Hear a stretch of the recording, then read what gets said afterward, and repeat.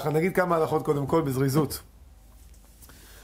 בגלל שעכשיו כל הבלגן הזה שיש בממשלה ובכנסת ובכל ה... אתם יודעים, הרב לסרי קורא לבית, לכנסת בית הכיסא, כן? כל אחד עושה את הכיסא שלו וזה, בגלל שכל אחד דואג לכיסא, אז זה בית הכיסא, והשתבח שמו לעד.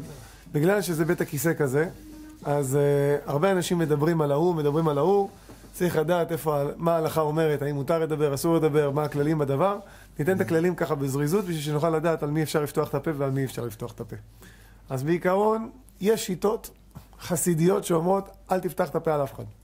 זאת אומרת, תשמור על הנפש שלך, אחי, עזוב, אל תדבר ואל ת... זה. אני לא בגישה הזאת, אבל בכל מקרה יש גישה כזאת. הגישה השנייה זה הגישה של החפץ חיים. חפץ חיים אומר ככה, בכלל חטא, חפץ חיים אומר שאדם שהוא... רגע, שנייה אחת לפני כן. בכלל י', מסעיף ב' ואילך, חפץ חיים נותן כללים, תנאים, מתי מותר לדבר לשון הרע על בן אדם. זאת אומרת שיש מצב שאני רוצה לדבר על בן אדם אחר בשביל תועלת. מה התועלת? יש שלושה סוגי תועלויות שמופיעים בראשונים. הרמב"ם, רבנו יונה, יש כמה ראשונים שכתבו לנו את סוגי התועלויות שיש באמירת לשון הרע. סוג אחד של תועלת זה שאני רוצה לעזור לאותו בן אדם שאני מדבר עליו עכשיו. יש בן אדם שעושה עוול, שעושה דברים לא טובים, ניסיתי להוכיח אותו, לא הצלחתי, עכשיו אני רוצה לעזור לו, להשיב אותו מדרכו הרעה, אז אני מספר למישהו אחר שאני יודע שיכול להשפיע עליו. זה תועלת. דבר שני שנקרא תועלת, אם אני רוצה להזהיר אנשים אחרים מפניו. הוא הולך לעשות איתו איזשהו עסק, ואני יודע שבן אדם הזה נוכל, מותר לי לדבר עליו, להגיד עליו שהוא נוכל, בשביל שאותו אחד לא יעשה איתו עסק, או שהוא לא ילמד ממידותיו הרעות. זה התנאי השלישי. התנאי השלישי, אם אני רוצה להרחיק אנשים מעושה עוולה, אני רוצה ל... ל, ל בוא נגיד ככה, לרדת על בן אדם שהוא מושחת, בשביל שאנשים לא ילמדו ממעשיו. יראו כמה אנשים מגנים אותו וכמה לא, לא, לא אוהבים אותו, אז ירצו להתרחק ממנו. אלה נקראים תועלויות, שבשבילהם מותר לדבר לשון הרע. עכשיו, זה לא הדבר היחיד, זה לא הכלל היחיד. תועלת זה ודאי צריך, זה הבסיס, אבל על זה צריך שיהיה שבע תנאים. כן, אתם רוצים לרשום? טוב, זה מוקלט, אחר כך תוכלו לעבור על זה. שבע תנאים. תנאי ראשון, שאני בעצמי ראיתי ולא שמעתי את זה מאחרים. שאני בעצמי ראיתי את המעשה של העוול. תנאי שני, שאני יודע שהדבר שהוא עשה הוא ודאי אסור, ואני לא מנחש שזה אסור. זאת אומרת, יכול להיות מצב שאני אראה דבר שהוא אסור, אבל או שאני לא ראיתי את התמונה, את כל התמונה, או שאני ראיתי רק צד אחד, יכול להיות שיש פה מקום לדון לכף זכות, או שעל פי דין תורה, הדבר שהוא עשה הוא בכלל לא אסור. בסדר? בן אדם שבא ועכשיו עשה נזק לחברו, חטף ממנו ממון, יכול להיות שעל פי דין תורה זה יהיה מותר. אז צריך לבדוק אם על פי דין תורה זה אסור או לא. דבר שלישי, שהוכחתי אותו תחילה, אני לא יכול לבוא ולדבר רע על בן אדם לפני שבאתי ואמרתי לו שדיברתי איתו קודם כל, כי יכול להיות שאני אשיג את התועלת על ידי שאני אדבר איתו ולא צריך לדבר עם אחרים. תנאי הרביעי, שאני לא אגדיל את מה שאני מדבר עליו יותר ממה שהיה באמת. זאת אומרת, להגיד את הדברים כמו שהיה. לא להגדיל את זה, לא. לא בדיבור, לא במילים ולא בניואנסים. זאת אומרת, בצורה שאתה אומר את זה. או, אתה לא יודע כמה הבן אדם הזה. וואי, וואי, וואי. אני לא רוצה להתחיל אפילו, אני אגיד לך רק מעט מן המעט, ואז אתה אומר לו בדיוק מה שהיה. הוא חושב שזה, או, או, איפה זה ואיפה... שלא יגדיל. תנאי חמישי שהוא קשה מאוד, שלא יהיה לך הנאה ממה שאתה מספר. זאת אומרת, שתספר נטו לתועלת. אבל אם יש לך נגיעות אישיות ואתה נהנה לדבר עליו וללכלך עליו, אז יהיה כבר אסור, וזה ייחשב בגדר של לשון הרע. תנאי השישי, שיהיה לך דרך אחרת לסובב את, ה, את, ה, את התועלת. אם יש לך דרך אחרת לסובב את התועלת בלי לדבר עליו, אז צריך לנהוג בזה. והתנאי השביעי, זה שאם אחרי שאני אדבר עליו, אני עלול לגרום לו לנזק יותר גדול ממה שהיה יוצא לו על פי דין תורה, אסור לי לדבר עליו. זה נשמע שאני ככה חכם, זוכר את כל התנאים, נכון? שתדעו שיש לי סימן לכל תנאי ותנאי. א', שאני בעצמי ראיתי, אני, יחיד, א', אני, היחיד, אחד, שאני ראיתי ולא שמעתי את זה ממישהו אחר. התנאי השני, שאני יודע שהדבר הזה באמת אסור, באמת, ב', ג', שנתתי לו הוכחה, טוב, זה לא יודע איך אני זוכר את זה, אבל ג' זה היה העניין של ההוכחה, חזר לי הרבה פעמים. ד', שלא להגדיל יותר ממה שזה, להגדיל, ד', להגדיל את הסיפור יותר מזה. ה', שלא תהיה לי הנאה. ה' הנאה. ו', אם יש לי דרך אחרת לסובב את ההיתר, ו' זה יש שש, שש, שש קצוות לכל דבר וחומר, כן? ארבע רוחות מעלה ומטה, אם יש דרך אחרת שאני יכול מתא ארבע רוחות מלמעלה ומלמטה להשיג את התועלת, בלי לדבר עליו זה חייב. וזין, חביבים השביעיות שבתורה, אז אם אין לכל התורה רצופה שביעיות, אז דווקא מתי שהוא לא יהיה לו נזק יותר מדין תורה. ככה לזכור את, ה, לזכור את הדברים, עושה לך סימנים, וקנה את התורה. אז זה לעניין אמירת לשון הרע. לעניין שמיעת לשון הרע, אותו דבר. אם באים ומדברים איתי עכשיו על מישהו אחר. אם עכשיו אומרים לי, תשמע, יוסי עשה עבירה פלונית. זה תלוי. החפץ חיים כותב בכלל ו', כלל ו' זה כל הכלל של מה מותר לשמוע ומה אסור לשמוע, ו' וז'. אז בהתחלה הוא אומר ככה, אם מה שמספרים לי עכשיו יכול לדון אותו לכף זכות, יש לי צד של זכות לדון אותו, מספר לי עכשיו משהו לא טוב שהוא עשה, אבל אני יכול לדון אותו לכף זכות למה הוא עשה את זה, אז מותר לי להאמין למה שהוא אמר, אסור לי לקבל. אסור לי לקבל את זה כגנאי, מותר לי להאמין שהוא אמר פה אמת, אבל אסור לי לקבל את זה כגנאי, אני חייב לדון אותו לכף זכות. אבל אם אין לי צד של זכות, זאת אומרת, הוא עכשיו מספר לי, תשמע, פלוני, ראיתי אותו נמצא עם איזה מישהי אחרת בזמן שהוא נשוי. איזה זכות יש לי לדון איתו פה? אין לי לדון אותו כף זכות, אני חייב להחזיק את זה שסיפר לי כשקרן. עד כדי כך. זה שסיפר לי עכשיו את הגנאי על הבן אדם, אני צריך להחזיק אותו כשקרן. במה דברים אמורים? שמדובר על ישראל כשר. שעכשיו דיברו על אחד מהיושבים כאן. יהודי, כשר, שומר תורה ומצוות, שאכפת לו מה, מה, מהתורה, שאכפת לו מ- מלהיות בן אדם טוב. אבל בן אדם שהוא האפיקורס, או מין, או, או שכופר בכל התורה כולה, או באפילו מצווה אחת מהתורה, אבל באופן עקבי, ואומר המצווה הזאת היא לא מן התורה. לא צריך לקיים אותה. או אפילו על קל וחומר אחד שכתוב בתורה, הבן אדם הזה יצא מכלל ישראל, מומר לדבר אחד ומומר לכל התורה, ולא צריך שום תנאי בשביל לדבר עליו. מותר ללכלך עליו חופשי, ומותר לקבל עליו גם לשון הרע, גם אם לא ראיתי ולא שמעתי. עכשיו באים מספרים לי משהו חדש עליו, והוא כבר הוחזק כרשע, מותר לדבר עליו הכי חופשי. זאת אומרת, שאם פוליטיקאים הם צדיקים, הם בבעיה. אבל אם הם לא צדיקים, מצוין, המקצוע הזה מצוין בשבילם. מותר לכל הכתבים לדבר עליהם ולכל המדינה לדבר עליהם. הם מופקעים לגמרי מהלכות לשון הרע. קל וחומר כל שכן וכל שכן. כל החבר'ה הנפלאים, כי יפלא ממך דבר למשפט, אלה שנמצאים עכשיו ועולים לכנסת עכשיו, כל החבר'ה, אני לא, לא אנקוט בשמות, מצד uh, לשון הרע, בנט וליברמן וכל אלה, כל המשוגעים האלה, בקיצור, שנמצאים שם במערכת הזאת, אלה מופקעים לגמרי. בנט לא יודע, אבל לגבי ליברמן ודאי מופקע, לפיד ודאי מופקע מהלכות לשון הרע. מותר לדבר עליהם. למה מותר לדבר עליהם? הם הפקיעו את עצמם מהתורה. הם שמו את עצמם בעצם במקום בחזית. שמעו חבר'ה, לא אכפת לנו. תעשו מה שאתם רוצים. תגידו מה שאתם רוצים. כיוון שכך, התירו את דמם. עכשיו תגידו לי רגע, לא התירו את דמם חס ושלום, אסור להרוג אותם. אבל לדבר עליהם בוודאי שמותר. לג... מה?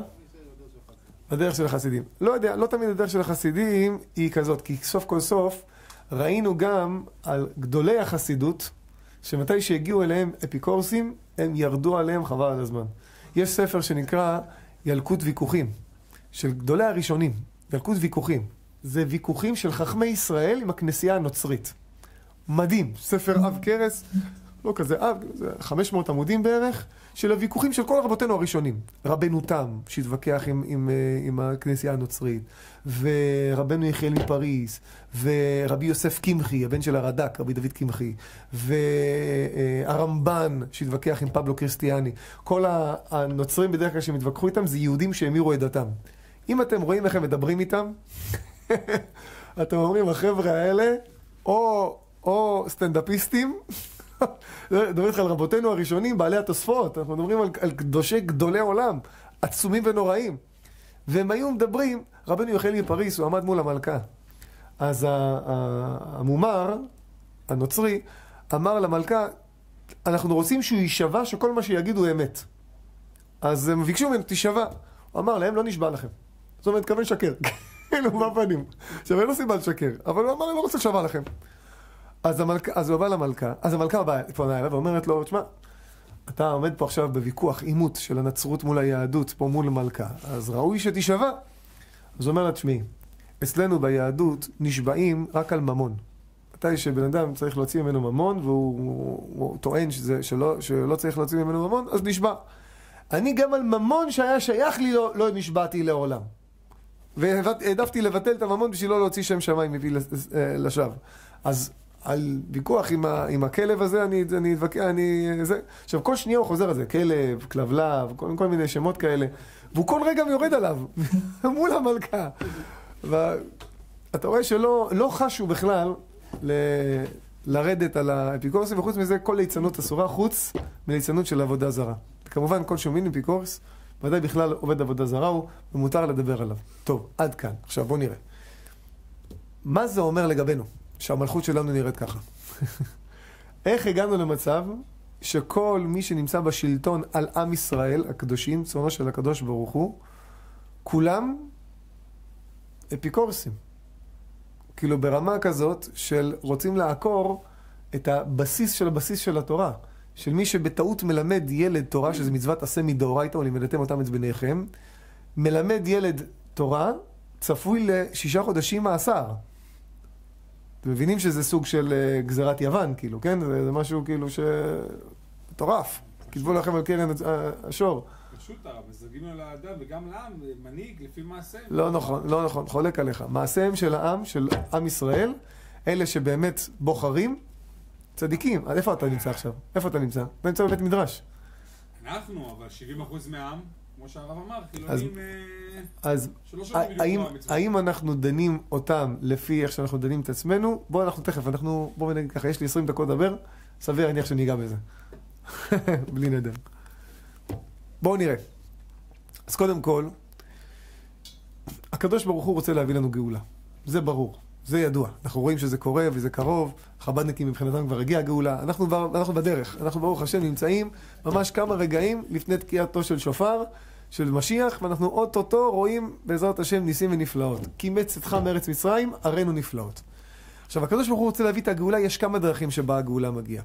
יש נבואה ביחזקאל, שיש אה, ביחזקאל ל"ז ל"ח על מלחמה גדולה שעתידה להיות באחרית הימים, מלחמת גוג ומגוג, ולא קשורה לעם ישראל. הזוהר הקדוש בפרשת בשלח בדף נ"ח אומר שהמלחמה הזאת היא פירעון מהגויים, כמו שכתוב בנביא, כתוב במפורש בפסוקים גם, שנקדשתי לעיני עמים רבים, שהקדוש ברוך הוא נפרע מהרשעים בעצם, רק שהזוהר מחדש שהוא מחזיר את כל המנהיגים של הדורות הקודמים, טיטוס, אנדריאנוס, נבוכדנצר, ומחזיר אותם בגלגול להיות ראשים על עמים כמו כבקדמיתה, ואז נפרע בהם והתגליה, נפרע בהם וגלוי סביב ירושלים. זה עניין אחד. מה זה סביב ירושלים? או סביב ירושלים עצמה, או סביב עניינה של ירושלים. כמו שאנחנו רואים שתמיד עניינה של ירושלים עולה שם בכנ... בכנסת העולמית, איך קוראים לזה? באו"ם, כן, באו"ם אל-פחם. בכל מקרה, אז דבר ראשון, זה נבואת יחזקאל, שיהיה מלחמה, לא קשור אלינו, קשור לגויים.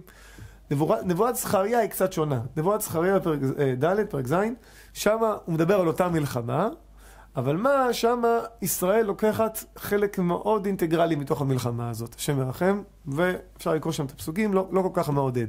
אנחנו בעזרת השם מקווים ומתפללים שתגיע גאולה ברחמים ונדבק לנבואת יחזקאל, וזכריה הוא בעזרת השם לא יצא לפועל. ראינו נבואה של אה, פורענות לא חייבת להתגשם. בכל מקרה, במה זה תלוי? במה זה תלוי כאן או כאן? אז תלוי באיזה אופן מגיע המשיח. האם מגיע בעיטה או באחישנה. באחישנה, כתוב בספר דברים, בפרשת האזינו, אחר כל הדברים, אה, ויהי באחרית הימים, איך כתוב שם? אה, אה, יבואו אליך כל הדברים האלה באחרית הימים, ושבת עד השם אלוקיך ושמעת בקולו, ואז מיד אחרי זה אה, מסופר על הגאולה בעצם של עם ישראל. נמצא שהגאולה תלויה בתשובה, וזה גם גמרא פה במסכת סנהדרין בדף צדיק ז', אין בן דוד בא אלא בתשובה, זה מחלוקת רבי יהושע ורבי אליעזר. אם ישראל עושים תשובה, מיד נגאלים, דברי רבי אליעזר, אמר לו רבי יהושע, סליחה, דברי רבי יהושע, אמר לו רבי אליעזר, ואם לא עושים תשובה לא נגאלים, אלא מעמיד עליהם מלך שגזרותיו קשות כהמן, וישראל עושים תשובה ונגאלים. נמצא שהגאולה תלויה בתשובה. נכון? וזה גם מחלוקת רב ושמואל בגמרא, האם הגאולה תלויה בתשובה או לא תלויה בתשובה. מה זאת אומרת לא תלויה בתשובה? יכול להיות שלא תלויה בתשובה? כן. אם הגיע הזמן לגאולה, ניגאל, בין אם המצב שלנו על הפנים, בין אם המצב שלנו מצוין. ניגאל בין כך ובין כך. ממילא, הגאולה חייבת להיות. כתוב, אה, ודבר השם יקום לעולם. מה זאת אומרת דבר השם יקום לעולם? לא משנה איך יהיה המצב של העולם, דבר השם יקום בו. בין אם אתה מתכוון, אתה מתכוון לטוב, בין אם אתה מתכוון לרע, מה שהקדוש ברוך הוא מכוון בסופו של דבר, יצא לפועל. זה, זה מדהים. יש הרבה אנשים שחוששים מכל ההמרה על דת שעושים עכשיו כל האלה בכנסת. לא מבינים שהם בעצמם מקרבים את הגאולה. תמר זינברג, שם רשעים מרכב, היא החליטה לעשות אה, אה, חוק נגד תפילין ונגד לימוד תורה. מה קרה יום למחרת? אחרי הצעת החוק, עוד לא, התקבל החוק. אחרי הצעת החוק, מה קרה למחרת? הנחות תפילין המוניות. כמה אנשים שלא חלמו להניח תפילין, התחילו להניח תפילין, יום חגיגה, משתה ויום טוב לכל החב"דניקים. זה משהו מדהים. כולם מניחים תפילין פתאום. הפך להיות, הפך להיות משהו על סדר היום. אנשים, כתבים וכל מיני אנשי עיתונאים שנמצאים מול, מול הטלוויזיה, מול המסך, עם תפילין וטלית, קריאת שמע בשידור חי. מדהים. תודה רבה לך, גברת תמר, יימח שמך. מה שקורה בפועל, זה שהם מנסים לעשות רע, ובפועל הם עושים טוב. פרעה אמר, פן יפרוץ, מה קרה בפועל? כן יפרוץ. פרעה אמר, כל הבן היאורה תשליכו, למה? כי ההצטגנינים שלו אמרו לו שמושיען של ישראל עתיד ללקוט במים, בא בפועל קרה, בזכות זה שהוא זרק אותו למים, הוא גידל אותו אצלו בארמון, לימד אותו גינוני מלכות, ואז הרגיל אותו לדבר עם פרעה בשביל שפרוע, שמשה רבנו יכול לבוא ולהגיד לו, שחרר את העם אם לא תקבל מכות. וזה מה שקרה בפועל. האחים של יוסף אמרו, נזרוק אותו לבור ונראה מה יהיו חלומותיו. תודה רבה לכם, בזכותכם ראינו מה יהיו, מה היו חלומותיו. אם לא הייתם זורקים אותו לבור, לא היה נמכר לישמעאלים, לא היה נמכר לפוטיפר, לא היה יורד לבור המצרי, לא היה עומד מול פרעה, לא היה הופך להיות מלך מצרים, ולא הייתם משתחווים לו בסופו של דבר כמו שהוא חלם. תודה רבה לכם שקיימתם את מה שהוא היה צריך לעשות. נמצא שכל פעם שבאים הרשעים למנוע את ישראל מללכת בדרך האמת, הם הם אלה שמובילים אותם לדרך האמת. וזה מה שאומר הזוהר הקדוש בפרשת נשוא בדף קכ"ה. הזוהר אומר שלעתיד לבוא, עתידים הערב רב לשלוט על עם ישראל. ענה דקות בריחו, הצאן של הקדוש ברוך הוא. מי שרוצה יראה את הדברים בפנים. זוהר הקדוש, פרשת נשוא, קכ"ה עד קכ"ו, מדהים. כאילו אתם קוראים עיתון, כאילו לקרוא את העיתון של היום. מה נמצא המצב של הערב רב, איזה ערב רב יהיה בשליטה, מה הם יגזרו על עם ישראל ומה יקרה לשאר עם ישראל. פשוט מדהים לראות את, את, את הפרטים לפרטי פרטים. לפני ששם מתחילים לפרט את העניין הזה של הערב רב, שלטון של הערב רב בארץ, אומר שם הראיה מאמנה, זה משה רבנו, נשמת משה רבנו שהתגלתה במערה של, אה, של רבי שמעון בר יוחאי. כתוב שהוא מדבר שם עם אליהו הנביא, ואומר לו, תשבע לי, אני משביר אותך בשם הקדוש, הוא אומר שם את שם השם. ש... לא תחסיר מילה אחת ממה שאני מבקש ממך מהקדוש ברוך הוא, כיוון שאני נמצא בזוי בין הערב רב ככלב שרוח. ככה אומר משה רבנו על עצמו, בדור האחרון. ואומר, שלא תפיל, והוא השביע את, את, את אליהו הנביא פעמיים על זה, בשם השם. לך תגיד לו את כל הדברים האלה, שעם ישראל נמצא עכשיו תחת שלטון של הערב רב, ומעבירים אותם על דת וכולי וכולי. אז איך אני יודע שבדור האחרון אמור להיות שלטון של הערב רב? זה גמרא ארוכה. הגמרא פה במסכת סנהדרין. הגמרא אומרת, אמר רבי יצחק. רבי יצחק, דרך אגב, היה תלמיד מובהק של רבי שמעון בר יוחאי, וכל הנבואות שאמר רבי יצחק עד היום התגשמו. הוא אמר הרבה נבואות. הוא אמר דברים הזויים. קודם כל הוא חזה בגמרא מסכת מגילה בדף ו', רבי יצחק אמר על הפסוק, אל תיתן השם מאביה רשע, זממו אל תפק ירום וסלע. הוא אמר, כך אמר משה, אה, יעקב לפני הקדוש ברוך הוא, ריבונו של עולם, אל תיתן לעשו הרשע מאביה ליבו. מי זה עשו? זה אדום, כן? עשו זה אדום, אני אתן לי מן האדום האדום הזה. אדום זה כל עולם הנצרות היום, כן? הוא אמר, אל תיתן לעשו הרשע מאוויה ליבו, זממו אל תפק, זו גרמניה של אדום. גרמניה. שאלמלא הם יוצאים, מחריבים את כל העולם כולו. מלחמת עולם ראשונה, 16 מיליון הרוגים, מלחמת העולם השנייה, 60 מיליון הרוגים, זה הכל גרמניה הובילה את זה. אף על פי שלא התחילה בשנייה זה אוסטריה, אבל בכל מקרה גרמניה היא זאת שהובילה את כל המלחמה. היא הייתה מרכז המלחמה. ותלת מאה כתירי תגאיקה בגרמניה של אדום. 300 כתרים, כן? זה 300 הנסיכויות והדוכסיות שהתחברו בעצם והקימו את גרמניה. זה רבי יצחק אמר לפני 2,000 שנה, 1,800 שנה, אמר את זה במשנה. אז רבי יצחק ידע מה הוא מדבר. ודברים שהוא אמר, התגשמו. הוא אמר עוד כמה דברים. קודם כל, הוא אמר את, ה, את הנבואה המדהימה הזאת של פסיקתא רבתי. מובא גם בתנא דבאליהו, מובא גם בזוהר בכמה מקומות. אמר רבי יצחק, שנה שמלך המשיח מתגלה בה, כל מלכי מזרח ומערב מתגרים זה בזה. ומלך פרס מתגרה במלך ערבי, והולך מלך ערבי ונוטל עצה ממלך אדום, וחוזר מלך פרס ומחריב את כל העולם. וכל העולם מתרעשים ומתבהלים ואומרים להיכן נלך ונבוא, ואומרים להרים כסונו ולגבעות נפלו עלינו. וגם ישראל מתרעשים ומתבהלים, ואומר להם הקדוש ברוך הוא, בניי, מפני מה אתם מתבהלים? הגיע זמן גאולתכם.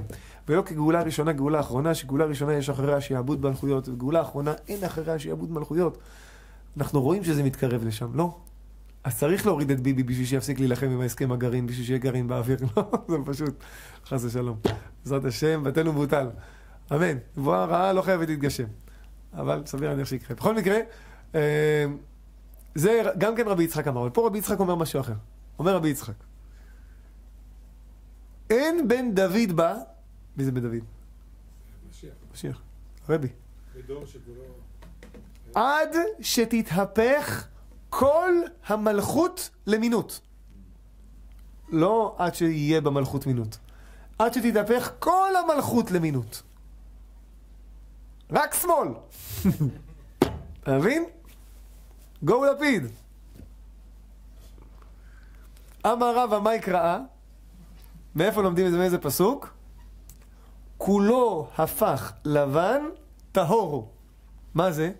בנגע צרעת כתוב, בנגע צרעת כי יהיה לובן בעור בשרו. קצת לבן יהיה שמה, טמא. עד הערב, אם זה, אז הוא מסגיר אותו. אבל אם כולו הפך לבן, כל הנגע הפך להיות לבן. זאת אומרת, הכל בסימן טומאה. אין שום צד של טהרה בתוך ה- ה- הנגע הזה, כולו הפך לבן, גזירת הכתוב, טהור הוא. אם הכל נראה טמא ואין טיפה של טהור, זה טהור. כי רע לא יכול להיות בלי טוב. חייב שיהיה טוב בשביל שיהיה רע. שולחן שהוא שלם הוא טוב. אם יש בו סדק, הוא רע. אם הסדק גודל, הוא יותר רע. אם הסדק גודל, גודל עד כדי כך שאין שולחן, אז אין גם רע. נכון? רע חייב להיאחז בטוב, רק מתי שיש טוב יכול להיות גם רע. בית דין, שמגיע אליו בן אדם שהוא במשפט מוות, ויש 120, אה, ש- אה, 70 חברי סנהדרין, שכולם אומרים בן מוות, חופשי, זכאי, יוצא חינם, חבל על הזמן. למה? כיוון שלא מצא אחד כף זכות עליו, כנראה יש פה בעיה בעדות. אז מילא, כולו הפך לבן טהור הוא. ברגע שיש לך כל הממשלה מינות, טהור. זהו, מגיע משיח בעזרת השם יתברך. אז ממילא, אנחנו נמצאים בתקופה מאוד מעניינת, מאוד יפה. למה? כי כל מי שיראה את הנבואות המדהימות שחז"ל נתנו לנו על הדור שאנחנו נמצאים בו, הכל מוביל לזה שאנחנו ממש קרובים לגאולה. עכשיו, תאריכים אסור לתת. א', כי אין לי מושג. ב', כי גם אם היה לי מושג, אסור להגיד. למה? כי אם לא יצא באותו תאריך, יכול להחליש את לב העם, כתוב, קלו, אה, אה, אה, כתוב שם. טיפה חוכם של מחשבי קיצים, נכון? אז ממילא, תאריכים לא אומרים, אבל כל הסימנים צועקים. כאילו, תשמע, אתה, אתה מגיע לאזור, שאתה אומר, שואל, שואל איפה, זה, איפה זה ראשון לציון, ואתה רואה 700 שלטים, ראשון לציון, ראשון לציון, ראשון לציון, ראשון לציון, ראשון לציון, בסדר, טוב, יכול להיות שזה לא פה, אבל זה ודאי קרוב, נכון? אתה רואה בוכטה של שלטים שנותנים לנו, חבר'ה, אתם בסוף. למה חז"ל נתנו לנו את כל הגילויים האלה? מה הסימנים של המשיח? בשביל מה? אז יש כמה סיבות. סיבה אחת זה הסיבה הפשוטה, בשביל להגיד לנו, חבר'ה, תירגעו. הכל בסדר. יהיה בסדר. תנשמו עמוק. הכל טוב. עוד מעט גאולה. עוד מעט זה נגמר. כמו שאומרים ליולדת. יולדת שיש לה הרבה צירים דחופים, והיא סובלת והיא צועקת. מה היא צועקת בדרך כלל? אפידורל! כאילו, עשו הרגעה שם באזור. מה אומרים לה בשביל להרגיע אותה? עוד מעט זה נגמר. עוד מעט ייגמר, לא יהיה כאב יותר. אל תדאגי, עוד מעט זהו. לידה ונגמר. אין יותר צירים אחר כך. עד הלידה הבאה. במקרה שלנו זה יש לידה אחת. ממילא, זו סיבה אחת. סיבה שנייה, בשביל לעורר אותנו. ברגע שבן אדם רץ מרוץ מרתון, אז יש דגלים. שהוא עובר, הוא רואה כמה קילומטרים הוא עבר. כשהוא מגיע לקילומטר האחרון, יש דגל שמסמל את הקילומטר האחרון. למה יש דגל שונה? בשביל להגיד לך, אחי, אתה בקילומטר האחרון. תן גז. תן גז. רוץ! אתה בקילומטר האחרון, אל תישאר באמצע. תן גז. בדיוק ככה. אין בן דוד בא אלא בדור שכולו זכאי, שנאמר ועמך כולם צדיקים, או בדור שכולו חייב. מה זה דור שכולו זכאי וכולו חייב? רב חיים קניבסקי באיזה מועדון? לא שייך, נכון? יאיר לפיד באיזה ישיבה? לא יודע. ליברמן לומד חברותא עכשיו עם הנכד? לא נראה לי. אלא מה? דור שכולו חייב, או דור שכולו זכאי, אומר, אומר הזוהר הקדוש, וגם הגר"א מעתיק את הזוהר הזה, חוזר על כל אחד ואחד. אין אמצע. מתי שמגיעה הגאולה, אין אמצע. כל אחד הוא או כולו זכאי, או כולו חייב. אין אמצע. אז מה תגיד? כולו זכאי, כולם חרדים. ממש לא. הרי כולו זכאי, זה לא תלוי באיך אתה נראה. זה לא תלוי במה אתה לובש או לאיזה קבוצת אנשים אתה מתחבר. זה תלוי באיך הלב שלך נראה. כי רחמנא ליבא בעי. משירי מדרש רות, סליחה, זוהר חדש על רות, דף ל"ד. זוהר שם אומר, קודשא בריחו ליבא בעי. הקדוש ברוך הוא רוצה את הלב של הבן אדם. אמר רבי נחוניה בן הקנה לתלמידיו, העבודה, נשבע, לשון שבועה, שאין חשוב לפניו יתברך, אלא כמו ליבו של אדם. רק הלב. וידעת היום והשבותה אל לבביך. כל, ואהבת את השם אלוקיך בכל לבבך. הקדוש ברוך הוא רוצה את הלב של הבן אדם. את איפה הלב שלך נמצא. יכול להיות מתפלל מהבוקר עד הערב, אם הלב שלו לא עם הקדוש ברוך הוא, איפה הוא נמצא? הוא לא נמצא שם. הוא לא בכל לבבכם תפילה בעיקר זה עבודה שבלב. כל העניין זה איפה הלב שלך נמצא.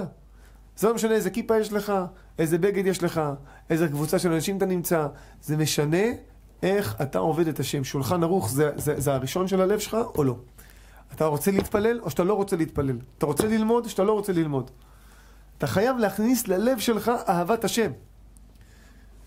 אנחנו נמצאים בדור טוב או לא טוב, מה אתם אומרים?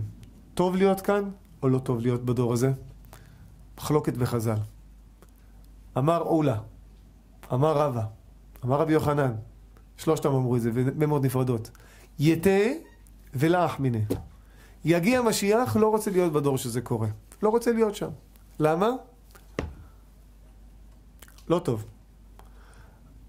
הרב יוסף אמר, יתה, ואטיב בתולה דקופיתא דחמרי. יבוא המשיח, ואני רוצה להיות בדור שלו עד כדי כך שאפילו תן לי מקום בצל של הגללים של החמור שלו, העיקר להיות שם. אתה יודע מה זה בצל של הגללים של החמור? זאת אומרת שאתה מתחת לגללים, הם בדרך אליך. ואני רוצה להיות שם, העיקר להיות בדור הזה. למה? פשט הדברים, זה הפשט, אין פשט אחר. שהם פחדו מהניסיונות, שמא יגרום החטא. רבי יוחנן, אולה, רבא, ידעו בדור הזה להישאר בן אדם ירא שמיים, זה משימה בלתי אפשרית.